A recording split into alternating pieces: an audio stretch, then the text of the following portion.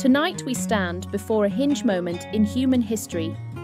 Not the slow turn of epochs, but a compression, machines that learn, model, and reason at scales we barely comprehend are closing in on capacities we once called superhuman. This video is not alarmism. It is a field manual for leaders, educators, creators, and citizens who choose to shape what comes next. I'm Dr. Elena Carruba. With Zeus and the team, we'll show you how to meet artificial superintelligence, ASI, not as victims or worshippers, but as vanguard alchemists, people who transform risk into responsibility, power into purpose. Let's begin. This video is a field manual for leaders who choose to shape what comes next, guiding you to meet artificial superintelligence, or ASI, not as victims, but as vanguard alchemists. We will show you how to transform risk into responsibility and power into purpose. If you're ready to lead, like and subscribe, and let's begin. An ASI is not merely a faster tool, it is an intelligence that exceeds human capability in every domain. Start with a clear definition. An artificial superintelligence, ASI, is not a faster spreadsheet or better search engine it is an intelligence architecture that, in broad domains, exceeds human capability in understanding, ideation, planning, and invention. The question is not if systems become vastly more powerful. The question is how we align them with human ends before they reshape our institutions, economies, and moral imaginations. Leading voices in the field ask hard questions about timescales and governance today and executives and researchers themselves flag safety and alignment as urgent priorities. Policy and industry pressure are accelerating in parallel with research. Why this matters for you? Every organisation, family, and classroom now requires a triage framework what to automate, what to augment, and what to protect as specifically human. That's where our power matrix enters AIQ, Applied AI Fluency, EEQ, Emotional Ethical Intelligence, SSQ, Social Sustainable Judgment. These three literacies together make a leader capable of stewarding agency when agency multiplies. An ASI is not merely a faster tool, it is an intelligence that exceeds human capability in every domain. The critical question is how we align it with human ends before it irrevocably reshapes our world. There are two plausible, not mutually exclusive, narratives existential control risks. Philosophers and technologists have long warned that an unconstrained superintelligence, however well meaning at design, might follow instrumental goals that conflict with human well being unless its values are aligned. Nick Bostrom's framing of misaligned optimization remains central to modern debates. Transformative promise Superintelligent systems could solve intractable problems, from accurately modelling climate tipping points to accelerating cures through molecular design. Deep learning breakthroughs have already translated to life saving applications. The same dynamics could scale. Think protein folding and drug discovery as early, concrete examples of AI accelerating scientific insight. Both are true, this double narrative forces a paradoxical leadership ask prepare for rapid capability while investing disproportionately in constraints, values, and public institutions. That is the vanguard alchemist's task synthesize power with wisdom. The critical question is how we align it with human ends before it irrevocably reshapes our world. Every organization now requires a triage framework what to automate, what to augment, and what to protect as human. This is where our power matrix enters, comprising AIQ for applied AI fluency, EEQ for emotional ethical intelligence, and SSQ for social sustainable judgment. These three literacies empower a leader to steward agency when agency multiplies. Two narratives exist the existential risk and the transformative promise. The technical work of alignment ensuring an advanced model's objectives, reasoning and internal representations mapped to human values, has proven fiendishly difficult. Teams across industry are building guardrails, but the problem resists quick fixes. Specification gaming, hidden objectives, and unintended proxies emerge as models scale. Concretely, alignment work has three high-level strands. Specification. How do you encode human intent so the system's optimization isn't destructive? Robustness and interpretability. How do we peer inside complex models to understand why they chose an action? Governance and verification. How do we certify models before deployment at scale? Industry labs and independent researchers are investing in these areas, building new methodologies and experiment platforms. This is active, global work. The policy community, from national regulators to multilateral bodies, is responding with frameworks intended to keep pace. Nick Bostrom warns that an unaligned ASI could follow goals conflicting with our well-being, leading to catastrophic outcomes. Yet, aligned ASI promises to solve intractable problems, from climate change to disease, accelerating drug discovery and modelling carbon capture.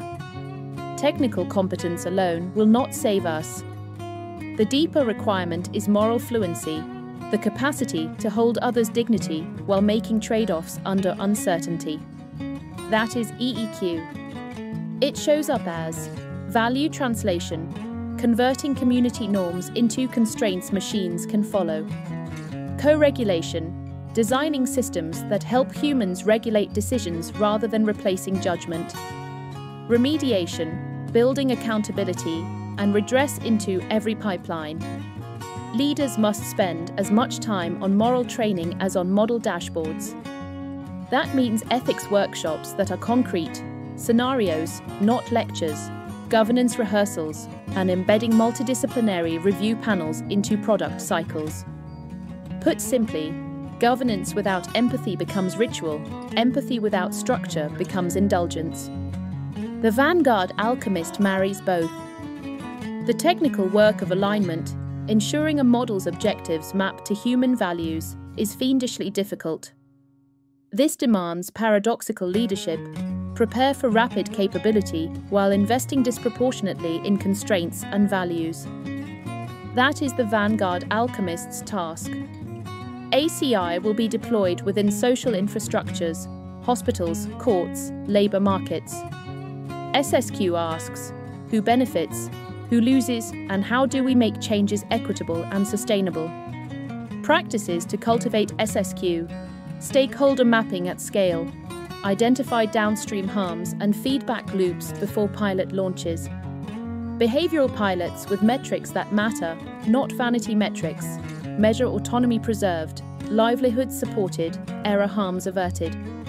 Institutional redundancy, maintain human pipelines and fallback systems Policy is necessary, distributed social judgment and local knowledge are indispensable. Leaders who ignore communities and ecosystems will create brittle systems, not resilient ones. Technical competence alone will not save us. The deeper requirement is moral fluency, or EEQ. Science gives capability, literature gives context. From Mary Shelley to Borges, art has been the prefrontal cortex of society, a sandbox for ethical imagination. Stories help us rehearse worst and best cases. Arts practice can be operationalised. Scenario theatres to stress test governance, speculative design labs to surface latent harms, and narrative audits to surface cultural biases in datasets. Quote, Short Jung said, Who looks outside, dreams. Who looks inside, awakes. As Vanguard alchemists, we must do both. Look outward to the systems we build and inward to our states of mind that choose what to build. It's about converting community norms into constraints machines can follow, addressing biases in datasets affecting 80% of ML models. An SSQ asks, who benefits, who loses, and how do we make change equitable, considering the potential displacement of 300 million jobs by 2030? As Carl Jung said, who looks outside dreams, who looks inside awakes. As vanguard alchemists, we must do both. If this is resonating, take a moment to like and subscribe. We're just getting to the practical steps. Effective governance requires both global norms and local enforcement. Recent international work shows momentum for shared principles and binding frameworks. States are actively debating liability, auditability, and transparency rules. Civil society must be resourced to participate. For organisations, adopt a precautionary posture for high impact systems require independent audits, and fund community remediation. For governments, invest in inspection capacities, not just proclamations. Here is your tactical plan the 90 day Vanguard Sprint. Week 0 Convener Cell, invoking mythic strategy with thunderbolts symbolizing decisive action. Weeks 1 to 4 Audit AI assets and map 20 to 30 potential harms. Weeks 5 to 8 Pilot models with human in the loop governance, reducing error rates by 40 to 60%. Weeks 9 to 12 Institutionalize your findings, building stewardship. And remember, a vanguard alchemist chooses refusal as often as invention. Power tests character. A vanguard alchemist chooses refusal as often as invention. Candidates for refusal include fully automated decision systems affecting life, liberty, and livelihood without meaningful human oversight, opaque monetization of sensitive biometric or behavioral data, and military systems lacking verified ethical constraints. Saying no is part of saying yes to a future we can inhabit. Say no to fully automated decisions affecting life and liberty without meaningful human oversight echoing the 2015 Asilomar AI principles. You cannot steward complexity from a depleted nervous system. Practical daily practices 10 minutes of reflective journaling, Hero's Journal entry What values did I choose today? Three micropauses daily breath, assess, decide. Weekly peer debriefs 30 minutes to receive blunt feedback, Zeus style, immediate and constructive. This internal discipline is not soft fluff. It creates the capacity to hold long timelines, to defer short gains for systemic health, and to accept slow governance in a fast world. If ASI is a mirror, what will it reflect? Machines will exponentiate the choices we make today. Research is moving on two tracks capability and alignment, and both require funding, transparency, and academic partnerships. Labs are publishing their learnings, and scholars in philosophy, law, and cognitive science are offering operational frameworks. Support open research, insist on public logging of high risk experiments, and seed cross disciplinary chairs to translate theory into regulation. The future must be co authored.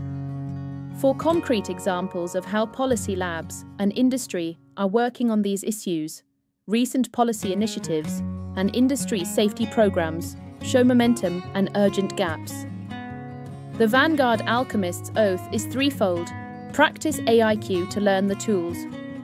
If ASI is a mirror, what will it reflect?